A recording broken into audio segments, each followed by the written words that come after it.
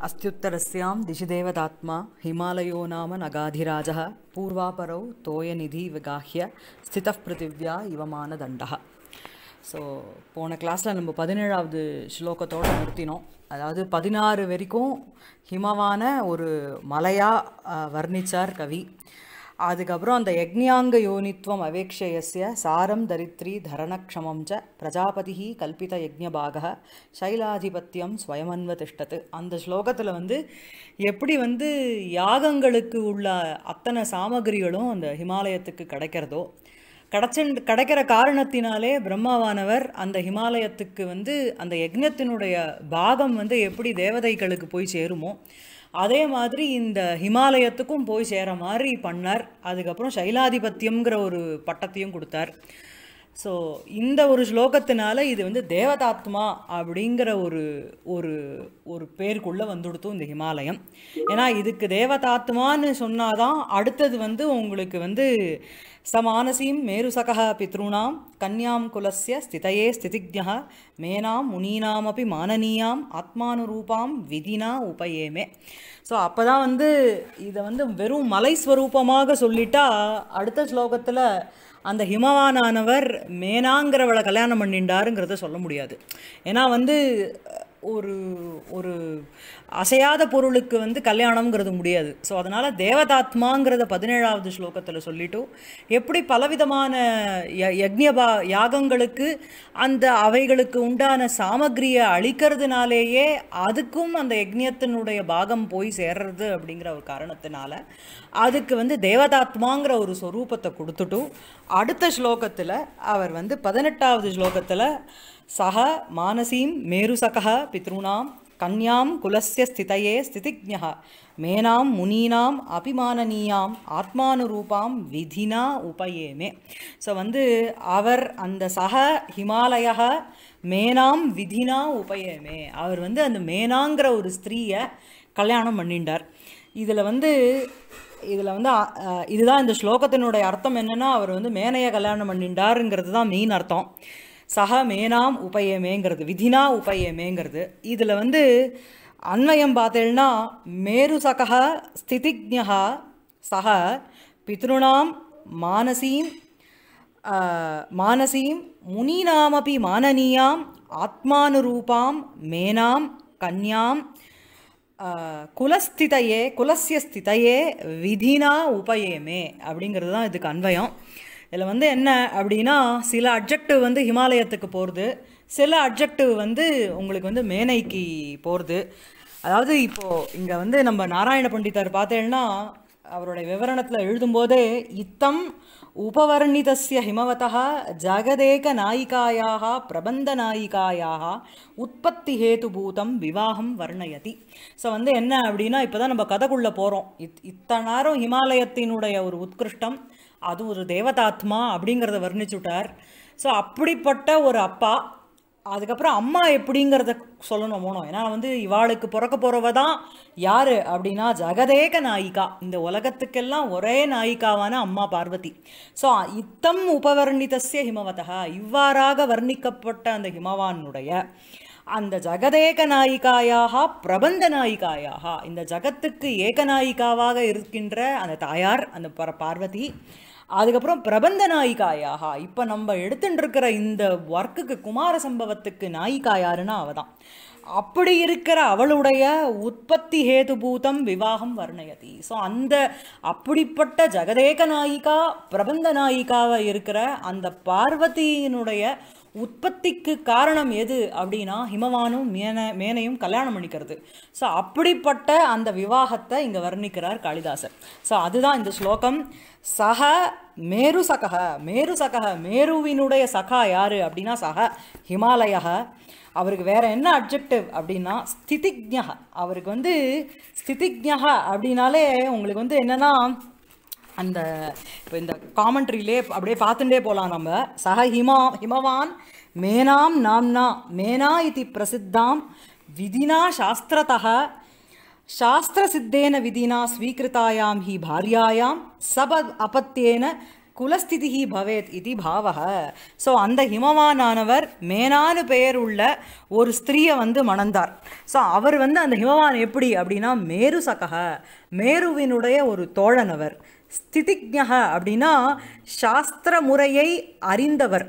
அப்புறம் சக ஹிமவான் பித்ருணாம் அந்த பித்ருக்களின் மானசீம் மனதில் பிறந்தவளும் முனீனாம் அபி முனிவர்களாலும் கூட மானனீயாம் மதிக்கத் தகந்து தக்கவளுமான ஆத்மானுரூபாம் தனக்கு அந்த இமவானுக்கு உகந்தவளுமான மேனாம் கன்யாம். மேனா என்று பெயருள்ள குலசிய தன்னுடைய வம்சத்தினுடைய ஸ்திதையே அது வந்து நீடிக்கிறதுக்கோசரம் வம்ச விருத்திக்கோசரம் விதினா சாஸ்திரப்படி உபயமே மறந்து கொண்டார். ஸோ இதுதான் இதனுடைய ஸ்லோகார்த்தம். இங்கே வந்து இவர் வந்து ஒன்று ஒன்றுத்துக்கும் இவா ரெண்டு பேருக்கும் போட்டிருக்கிற அப்ஜெக்டிவ் எல்லாமே உகந்ததான அப்ஜெக்டிவ் நம்ம வந்து பரிகர அலங்காரம் சொல்லலாம் இங்கே. இங்கே வந்து சக மானசீம் மானசீம் சி சக மேருசகः ஸ்திதிஜக இது ஒன்று ஒன்றுத்துக்கும் சொல்லிட்டு வரார் காமெண்டேட்டர் சக ஹிமவான் மேனாம் நாம்னா. மேனே இது பிரசித்தாம் விதினா. விதினாங்கிறது சாஸ்திரத்தோடு. விதினா உபயமேன்னு இருக்குது விதினா அப்படின்னா சாஸ்திரத்தை என்ன சொல்லப்பட்டிருக்கோ அந்த அந்த விதிமுறைப்படி கல்யாணம் பண்ணிட்டார். சாஸ்திர சித்தேன விதினா ஸ்வீகிருதாயாம் ஹி பாரியாயாம். சதபத்தேன குலஸ்திதிஹி பவேத் இது பாவக சாஸ்திர சித்தேன சாஸ்திரத்தில் சொல்லப்பட்டிருக்கிற அந்த விதினா ஸ்வீகிருதாயாம் அந்த விதிகளினால் அந்த விதிகளை வந்து கடைப்பிடிப்போமே ஆனால் பாரியாவினிடத்தில் சதபத்தேன நல்ல ஒரு குழந்தை பிறந்து குலஸ்திதிஹி பவேத். அந்த குலத்துக்கு ஒரு ஸ்திதி அப்படின்னா ஸ்திரதா. ஸ்திரதாங்கிறது ஒரு விருத்தி. விருத்திங்கிறது வருது.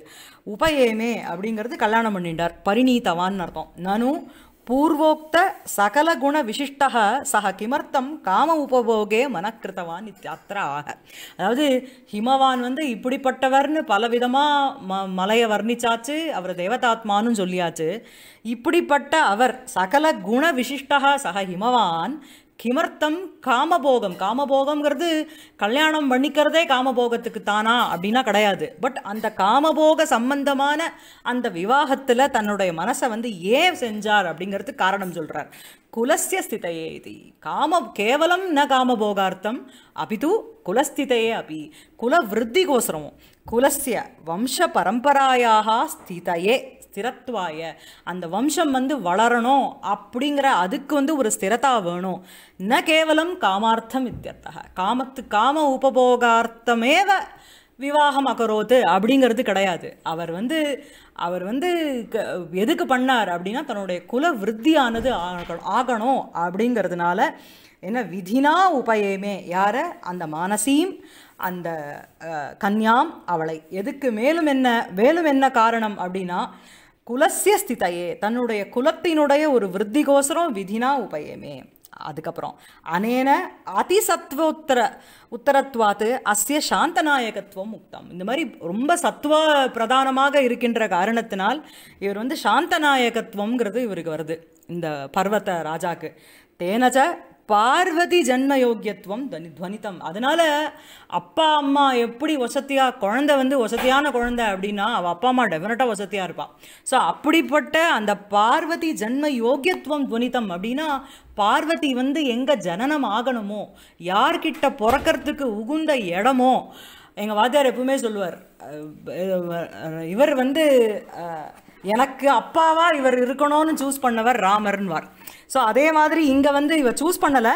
இந்த பார்வதி ஜன்ம யோக்கியத்துவம் அந்த பார்வதியினுடைய ஸோ அந்த பார்வதிக்கு அவளுடைய ஜனனம் ஆறத்துக்கு யோக்கியமான ஒரு இடம் யோக்கியமான ஒரு அப்பா அம்மா யாரு? அப்படின்னா இவா தான். ஸோ தேனச்ச பார்வதி ஜன்ம யோக்கியத்துவம் துவனிதம். மேலும் என்ன அப்படின்னா இதுக்கப்புறம் சி இதில் வந்து ச மானசீம் மேரு சகஹாங்கிற இடத்துல மேரு சகஹ மேருவினுடைய தோழன் ஸ்திதிஜக சாஸ்திர முறை அறிந்தவர். அதுக்கப்புறம் சக ஹிமவான் என்ன குலஸ் இது இது ரெண்டுமே வந்து இவருக்கு அப்ஜெக்டிவ் ஹிமவானுக்கு. மேரு சகஹ ஸ்திதிஜ்ஞகாங்கிறது இதில் வந்து மேரு சகஹ அப்படிங்கிறது உங்களுக்கு என்ன அப்படின்னா ஹிமவானுக்கு மேருங்கிறவன் ஒரு ஃப்ரெண்டு ரூபமாக இருக்கார். இன்னொரு ரூபமாக எப்படி அப்படின்னா இந்த மேனா ரூ மேனா மூலமாகவும் ஒரு ஒரு சகா சகாவாக அவர் ஆனார். அது எப்படி அப்படின்னா அதுக்கு தான் அடுத்தது கொடுக்குறார் மேனாயாக குலசுத்திம் ஆக. அந்த மேனாவினுடைய குலசுத்தி என்ன? ஏன்னா அப்பாவினுடைய குலசுத்தி சொல்லியாச்சு. அம்மா எப்பேற்பட்ட ஒரு வசந்த பரம்பரையிலேருந்து வந்திருக்கா அப்படின்னா அந்த மேனாங்கிறவ யாரு அப்படின்னா பித்ருனாம் மானசீம் கன்யாம் ச சக மானசீம் கன்யாம் அப்படின்னு போடும்போது யாருடைய மானசீ கன்யா அப்படின்னா பித்ருணாம் மானசீ கன்யா பித்ருக்களனுடைய மானசீ கன்யா. அதாவது இங்கே வந்து இன் ஜென்ரல் பித்ருக்கள் வந்து ஏழு பேர் சொல்லப்படுறது.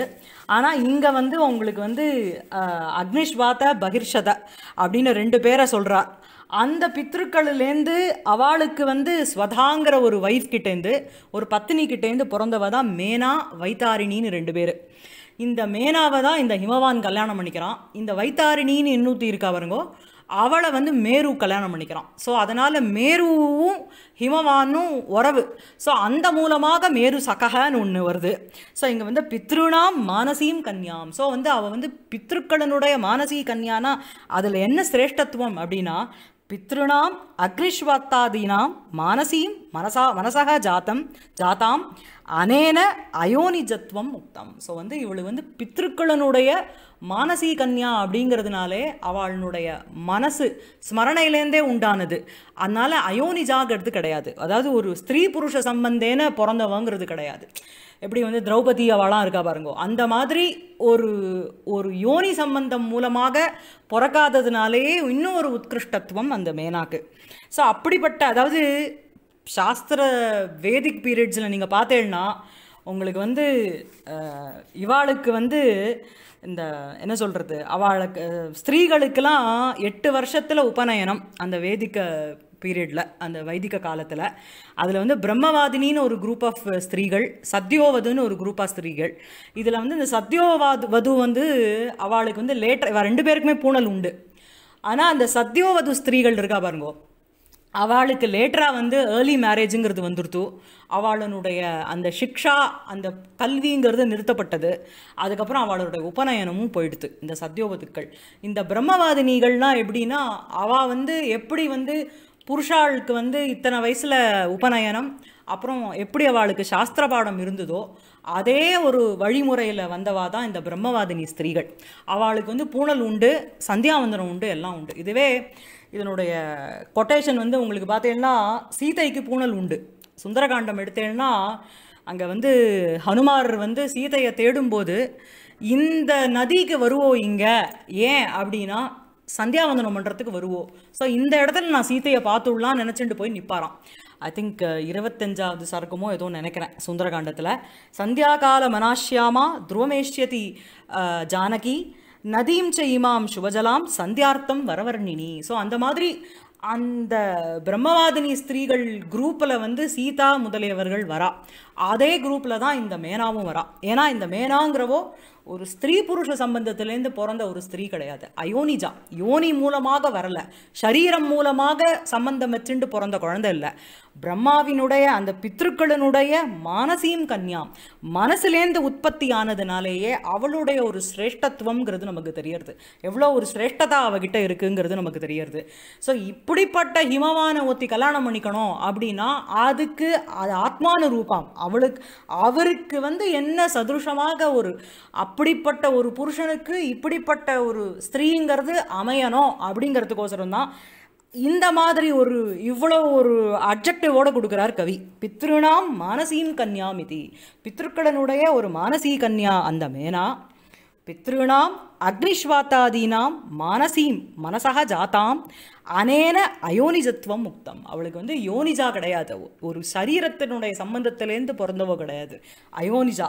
தேனச்ச திவ்யத்துவம் துவன்யதே. ஸோ இப்படிப்பட்ட அதாவது இத்தம் உபவர்ணிதஸ்ய ஹிமவதா ஜெகதேக நாயிகாயாக பிரபந்த நாயிகாயாக உற்பத்தி ஹேதுபூதம் விவாகம் வர்ணயத்தின்னு சொல்லும்போது அந்த ஜெகதேக நாயிகா பிரபந்த நாயிகா யாருக்கு பிறக்கணும் அப்படின்னா இப்படிப்பட்ட வசதியான ஹிமவான்கிற ஒரு தேவதாத்மாக்கும் இப்படி பித்ருக்களினுடைய மானசீக மானசீ புத்திரியாக இருந்து கொண்டிருக்கின்ற அந்த மேனாக்கும் பிறக்கிறதுனாலேயே இந்த மேனா வந்து அயோனிஜாங்கிற ஒரு காரணத்தினாலேயே திவ்யத்துவம் துவன்யதே எப்படி வந்து ஒரு திவ்யத்துவம் ஒரு டிவைனிட்டி இவா கிட்ட இருக்கு? ஏன்னா பார்வதி வந்து பிறக்க போகிற இடங்கிறது சாதாரணமாக யாருக்கு வேணால் பிறக்க முடியாது இல்லையா?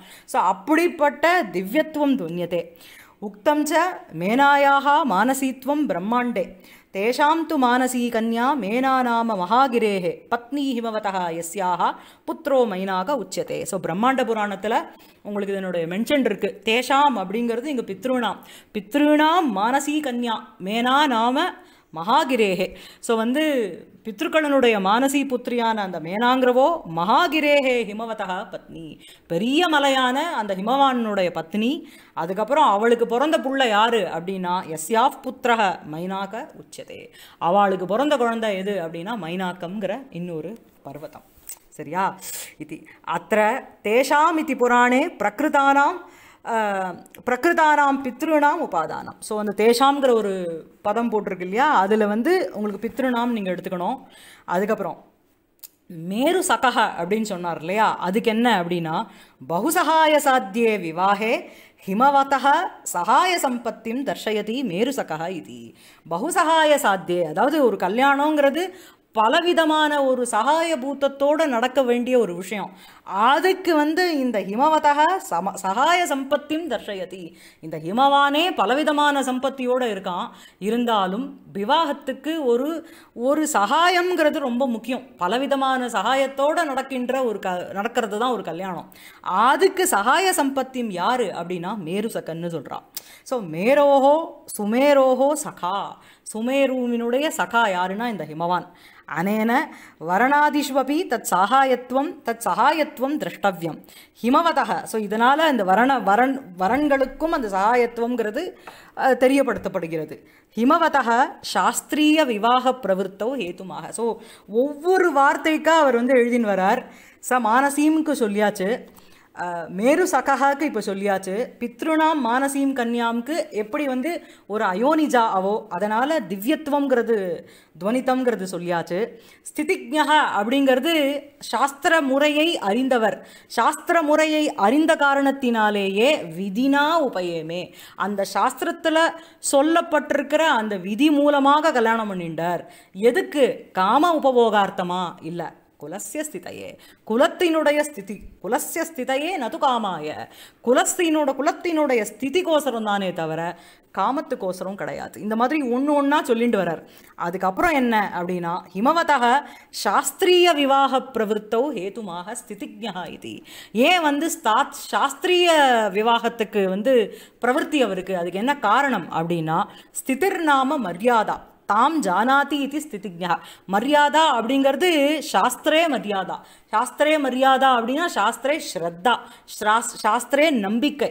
சாஸ்திரத்தில் சொல்லப்பட்டிருக்கிற விஷயத்தில் ஒரு மரியாதா ஒரு ஸ்ரத்தா ஒரு நம்பிக்கை இருக்கின்ற காரணத்தினால் அவர் வந்து தாம் அந்த விஷயத்தை தெரிஞ்சுட்டுருக்கிற அந்த மரியாதாம் தாம் ஜானாதி இது ஸ்திதிஜா ஸோ வந்து என்ன அப்படின்னா வித்யா கிரகணானந்தரம் குரு சகாஷாத் நிவத்தேன கார்ஹஸ்தியம் அங்கீகாரியம் புனश्च அக்ஞாதானாதி கர்ம கர்த்தவியம் இது சாஸ்திரமரியாதாம் ஜானன்னு இத்தியர்த்தா. ஸோ வந்து என்ன? வித்யாகிரகணம். வித்யாகிரகணத்துக்கு அப்புறம் குரு சகாஷாத் குரு கிட்டேருந்து கிளம்பினப்புறம் அந்த கார்ஹஸ்தியம்ங்கிறத எடுத்துக்கணும். அதுக்கப்புறம் அந்த அக்னியோ அக்னிஹோத்திர கா காரியங்களை செய்யணும் அப்படிங்கிற ஒரு சாஸ்திர மரியாதையை அறிந்தவர் அந்த ஹிமவான். அதனால தான் ஸ்திதிஜகான்னு போட்டிருக்கு. அந்த ஸ்திதிஜகான்னு போட்டிருக்கிறதுக்கு காரணம் இன்னொன்று என்னென்னா அந்த விதினா உபயமேக்கு அதுதான் ஜஸ்டிஃபை பண்ணும். எப்படி வந்து குலசிய ஸ்திதையேங்கிறது கா நது காமாயான இந்த காமத்தை வாரணம் பண்ணுறதுக்கோசரம் குலஸ்திதி போட்டாரே போட்டிருக்கார். அதே மாதிரி அங்கே வாரணமுக்கோசரம் இங்கே வந்து எம்ஃபசிஸ் பண்ணுறதுக்கோசரம் ஸ்திதிஜ்ஞக அப்படிங்கிறது அந்த விதினா மரியாதாம் ஜானாதி இது ஸ்திதிஜா அதனால் விதினா உபயோ உபயேமே. அதுக்கப்புறம் என்ன அப்படின்னா மேனாயாக உத்தம நாயிகாத்வம் ஆக. ஸோ இப்போ வந்து ஹிமவானுக்கு இவ்வளோ சொல்லியாச்சு. மேரு சகா அதுக்கப்புறம் உங்களுக்கு ஸ்திதிஜ்ஞக குலசிய ஸ்திதையே நது காமபோகாய விதினா ஆத்மானுரூபாம் கன்யாம் உபயேமே. தனக்கு உகுந்த ஒரு கன்னியையை அவர் கல்யாணம் பண்ணிட்டார் அவருக்கு உகுந்த ஆத்மானு ரூபாம் அப்படின்னா இப்படிப்பட்ட ஒரு சிரேஷ்டத சிரேஷ்டத்தன்மையோடு இருக்கின்ற ஹிமவானுக்கு இந்த மேனங்கிறது மேனங்கிறவ எப்படி வந்து ஆத்மானு ரூபாம் அப்படின்னா ஒன்று ஏற்கனவே சொல்லியாச்சு. பித்ருணாம் மானசீம் கன்யாம்னுட்டு. பித்ருக்களினுடைய மானசி புத்திரியாவோ அயோனிஜா அதனாலே திவ்யத்துவம் தன்யத்தேன்னு சொல்லியாச்சு. அதுக்கப்புறம் என்ன சொல்கிறார் அப்படின்னா மேனாயாக உத்தம நாயிகாத்துவம் ஆக என்ன? முனினாமப்பி மானனீயாமிதி. அவள் வந்து she has been respected even by the great செயின்ஸ்னு அர்த்தம் கிரேட் சேஜஸ்ன்னு அர்த்தம். ஸோ அந்த முனினாம் அப்பி அந்த முனிவர்களால் கூட மானனீயாம் அப்படின்னா இவ வந்து ரொம்ப வசத்தியானவோ அப்படின்னு அந்த முனிவர்களே அங்கீகாரம் பண்ணிக்கிறா. ஸோ அப்படிப்பட்ட இந்த மானசீம் கன்யாம் அதனாலேயே ஆத்மானுரூபாம் விதினா உபயமே சக ஹிமாலயா. சரியா இருக்கா இதுக்கப்புறம் என்ன அப்படின்னா முனினாமபி மானனீயாம் இது முனினாம் முனிபிகி கிருத்தியானாம் கர்த்தரிவா இது ஷஷ்டி. அதாவது இது என்ன அப்படின்னா இங்கே வந்து அதாவது கிருத்திய பிரத்யங்கள்னு இருக்குது இட் இஸ் பார்ட் ஆஃப் கிருதந்த பிரத்யங்கள். தவ்யத்து அணியர் இதெல்லாம் ஒரு ஆறு ஏழு பிரத்யங்கள் இருக்குது அவைகள். அவைகளினுடைய யூசேஜ் வரும்பொழுது அங்கே வந்து கர்த்தரி அங்கே கர்த்தாவாக இருக்கிற பதத்துக்கு ஷஷ்டிங்கிறது வரும். ஷஷ்டி வந்து வரல அப்படின்னா உங்களுக்கு கர்த்திருக்கரணயோ திருத்தியாங்கிறதுனால திருத்தியா வந்துடும் இதில் வந்து நீங்கள் கௌமுதியில் கொடுத்துருக்க எக்ஸாம்பிள் வந்து மம மயா வா சேவ்யா ஹரிஹி. ஸோ ஹரிஹி சேவ்யா ஹரிஹி சேவிக்கப்பட வே- பட வேண்டியவர். இந்த சேவ்யகாங்கிற இடத்துல உங்களுக்கு கிருத்திய பிரத்யம்ங்கிறது இருக்குது இங்கே வந்து கர்த்தா கர்த்தா யாருன்னா அகங்கிறது தான் கர்த்தா. ஸோ அந்த கர்த்தாவுக்கு வந்து நீங்கள் எதிர் ஷஷ்டி மம சேவ்யா ஹரிஹின்னு போடலாம். இல்லைனா மயா ஹரிஹி சேவ்யகன்னு போடலாம். அதுதான் இங்கே சொல்கிறார் இங்கே வந்து முனிஹி முனி தான் கர்த்தா. அந்த முனி முனிவரானவர் முனிவர்களால் அந்த மேனாங்கிறவோ மானனீயா? இங்கே மானனீயாங்கிற இடத்துல அணியர் உங்களுக்கு. அணியர் பிரத்யம்ங்கிறது கிருத் கிருத்திய பிரத்தியத்தில் வருது. ஸோ வரதுனால இங்கே வந்து இந்த கர்த்தாவான முனிக்கு எய்தர் முனினாம்னு ஷஷ்டி போடலாம். இல்லைனா முனிபிகின்னு திருத்தியா போடலாம். ஷஷ்டி இல்லை அப்படின்னா திருத்தியா போடலாம். கிருத்தியானாம் கர்த்தரி வா வாங்கிறது உங்களுக்கு விகல்பார்த்தே. ஸோ உங்களுக்கு வந்து விகல்பமாக அந்த கர்த்தாவுக்கு வந்து நீங்கள் எய்தர் ஷஷ்டி போடலாம் ஷஷ்டி போடலைன்னா you can stick on to திருத்தியா விபக்தி. சரியா? ஸோ அதுதான் அதுதான் இங்கே முனினாம் முனினாமபி மானனீயாம்ங்கிற இடத்துல அந்த முனிவர்களால் கூட ரொம்ப மதிக்கப்பட வேண்டியவள் அவள் அப்படின்னு சொல்லும்போது அந்த முனிவர்கள் மேனாவை மதிக்கிறார்கள்னு வரும். ஸோ அந்த முனி முனிவர்கள் கர்த்தாவா விடுவா அதனால் அதுக்கு வந்து முனினாம் இல்லைனா முனிபிகி அப்படிங்கிறத போடலான்னு இங்கே வியாக்கியானக்காரர் சொல்லியிருக்கார். இதை பற்றின மென்ஷன் வந்து உங்களுக்கு அஹ், மல்லிநாதர்லாம் பண்ணலை. இவர் தான் பண்ணியிருக்கார். சரியா? முனினாம் முனிபிகி கிருத்தியானாம் கர்த்தரிவா இது ஷஷ்டி. சரியா இருக்கா? இந்த இந்த மேனா தான் வந்து அந்த ஸோ வந்து இங்கே முனினாமபி மானனீயாம் இது முனீனாம் முனிபிகி கிருத்தியானாம் கர்த்தரிவா இது ஷஷ்டி. அதுக்கப்புறம் சர்வ மானனீயைஹி முனிபிரபி மானனீயாம் இது அபிசப்தார்த்தா ஸோ அபிங்கிறது போட்டிருக்காரோனோ மா முனீனாமபி மானனீயாம்னு போடும்போது அந்த அபிங்கிறது அவர்களாலும் கூட அப்படின்னு சொல்லக்கூடாது. அவர்களால் கூட அவள் வந்து மானனியாம்னு சொல்லும்பொழுது அந்த எம்ஃபசைஸ் வந்து பண்ணுறதுனால அந்த மானனியாம் அந்த முனிமானனியத்துவம் பிரம்மவாதவத்தையா யோகவத்தையாச்ச. அவள் அவளால் வந்து இவ மானனியா அப்படின்னா இவ வந்து அந்த அந்த பிரம்மவாதினி டைப்பு யோகினி டைப்பு அந்த டைப் ஆஃப் ஸ்திரீ இவோ. அதனால தான் அவளுக்கு வந்து முனிநாமபி மானனியாம்ங்கிற ஒரு அபிஷப்தம்ங்கிறது போட்டிருக்கார்.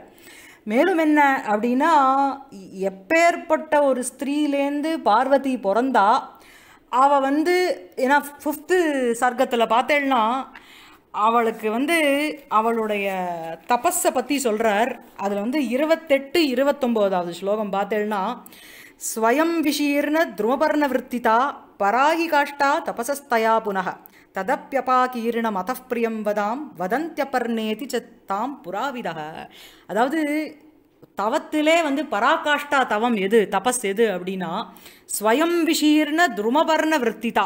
தாமே விழுந்த அந்த மரங்களின் இலைகளினால் ஜீவிக்கிறது தான் சரியா? தபசக தவத்தின் பராகாஷ்டா உயர்ந்த எல்லை அதுதான். உயர்ந்த நிலைமை அதுதான். தயா புனக அந்த பார்வதியினாலோ தத்து தத்தபாகீரணம் அது கூட நீக்கப்பட்டது அப்படின்னா அவள் அதை கூட சாப்பிடல. அதனால் அதக புறாவிதக அந்த சாஸ்திரம் அறிந்தவர் அறிந்த பெரியோர்கள் பிரியம்வதாம் பிரியமாக பேசுகின்ற தாம் அவளை அபர்ணாமிதி இலையை கூட வந்து அவ சாப்பிடலை. அதாவது முனிவர்களால் தபஸ் பண்ணும்போது அவளுக்கு ஒரு பராகாஷ்டா தபஸ்ன்னு சொல்லணும் அப்படின்னா அவள் வந்து தானே அந்த மரத்துலேருந்து அந்த இலையை பறித்து கூட சாப்பிட மாட்டான் அந்த இலையே மரத்துலேருந்து விழுந்தது அப்படின்னா அதை சாப்பிடுவா. பர்ணா அப்படின்னா இலை. அதை பர்ணாவை கூட இவ தொடாததுனால தான் இவளுக்கு அபர்ணான்னு பேர். இந்த பிரியம்வதாளுக்கு அபர்ணான்னு பேர் சொன்னாராம். ஏன்னா அப்படிப்பட்ட அந்த முனிவர்களால் அந்த பராகாஷ்டா தபஸில் பண்ணுற ஒரு விஷயத்தை கூட இவ பண்ணலை. இவ வந்து அதை கூட சாப்பிடாம இருந்தா ஒரு ஸ்திரீ இந்த பார்வதி.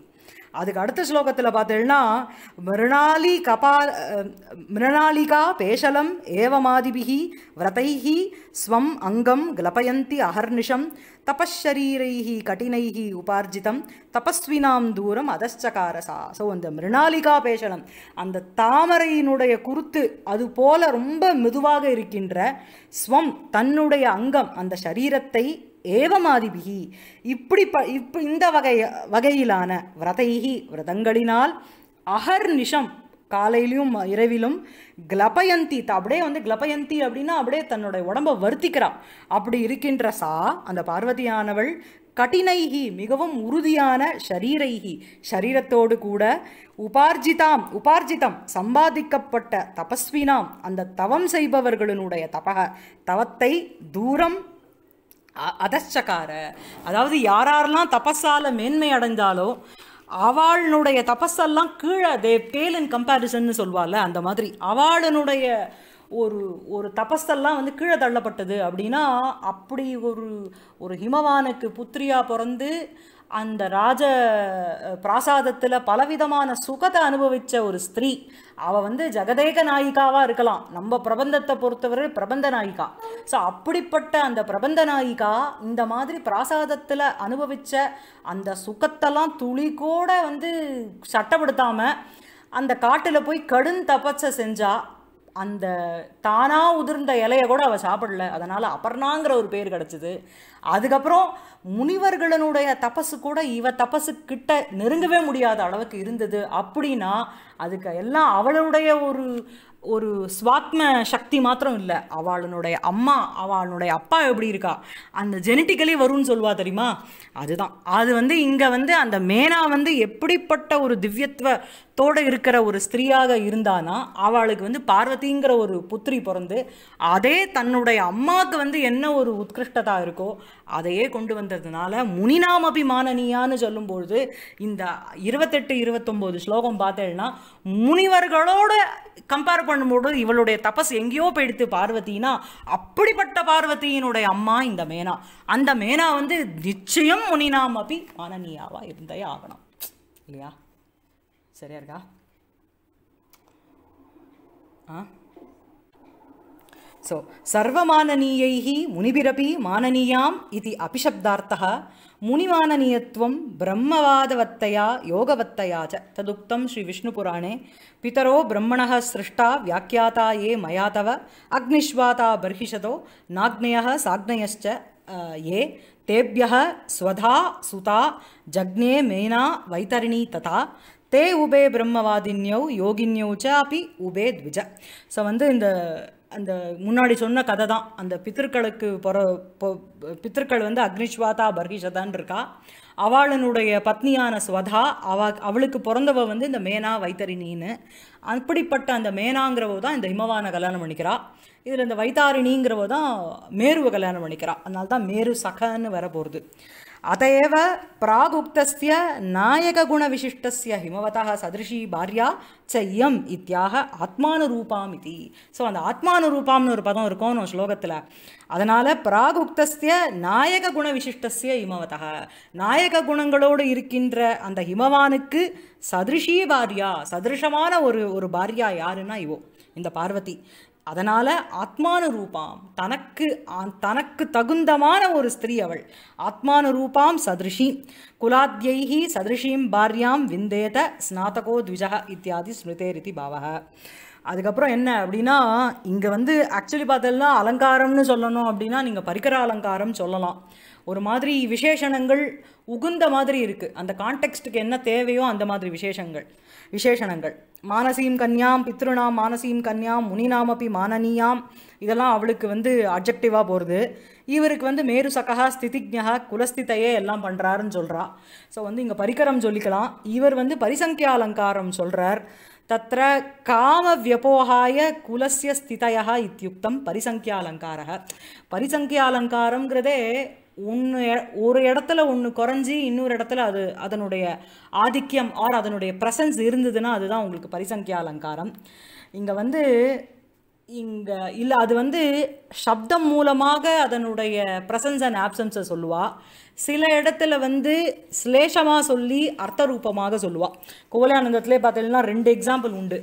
ஃபஸ்ட்டு வந்து அந்த பிரதீபக்ஷயே தீபக்ஷயம்னு ஒரு ஸ்லோகம் வரும். அதில் வந்து அந்த அந்த அந்த இதுங்கிறது அங்கே குறைஞ்சிடுதே தவிர அந்த ஸ்திரீ கிட்ட அந்த ராகம்ங்கிறது இருக்குங்கிறத சப்தம் மூலமாக சொல்லுவார். அதுக்கு அடுத்ததில் வந்து ஸ்லேஷம் போட்டு அர்த்த ரூபமாக இப்படி இருக்குங்கிற மாதிரி ஒரு ஸ்ருதி வர்த்தமாங்கிறத ஒரு ஸ்லோகம் ஒன்று வரும். அது ஒன்று சொல்லுவார். இங்கே வந்து பரிசங்கியா வந்து கொஞ்சம் இழுத்து தான் சொல்லணுமோன்னு எனக்கு தோன்றது. அதாவது விவாகம்ங்கிறது எதுக்கு பண்ணப்பட்டது அப்படின்னா குலஸ்திதிக்கு தான் காமத்துக்கோசரம் கிடையாது. ஸோ காம வியபோகாய அதுக்கோசரம் குலஸ்திதிங்கிறது சொல்லப்பட்டது. புரியுதா உங்களுக்கு? காம வியபோகம் காம உபோபா உபபோகம்ங்கிறது கிடையாது. அதுக்கு பதிலாக குலஸ்திதின்னு சொல்லி இங்கே பரிசங்கியா சொல்லலாம். பட் குவலயானந்தம் படி இது ரொம்பலாம் ஒன்றும் செட் ஆகலை. சரியா? ச மானசீம் ஆ சொல்லுங்க. स मानसीं मेरुसकः पितॄणां कन्यां कुलस्य स्थितये स्थितिज्ञः मेनामुनीनाम् अभिमाननीयाम् ஆத்மானுரூபாம் விதினா உபயேமே ஸோ அந்த மாதிரி கல்யாணம் பண்ணிட்டார் அஹ், அடுத்த ஸ்லோகத்தில் வந்து அவளுக்கு வந்து மைனாக்கங்கிற ஒரு புத்திரன் பிறக்கிறான் அதுக்கு வந்து இந்த கவி எழுதும்போதே அப்பா பேர் தெரியாமல் பிரதர் இல்லாமல் இருக்கிற ஒரு ஸ்திரீக்கு வந்து கல்யாணம் ஆகிறது கஷ்டமா அப்படிதான் ஆரம்பிக்கிறார். எஸ்யாஸ்து ந பவேத் பிராதா ந விஜ்ஞாயதே வாபிதா ந உபயச்சேத தாம் பிராக்ஞக புத்திரிகா தர்மசங்கையா எப்படி? இந்த காலகட்டத்தில் இது சொன்னோன்னா என்ன கிடைக்கும்? ம்? அதான் அதோட ஆரம்பிக்கிறார். அதை அடுத்த கிளாஸ் பார்க்கலாம்.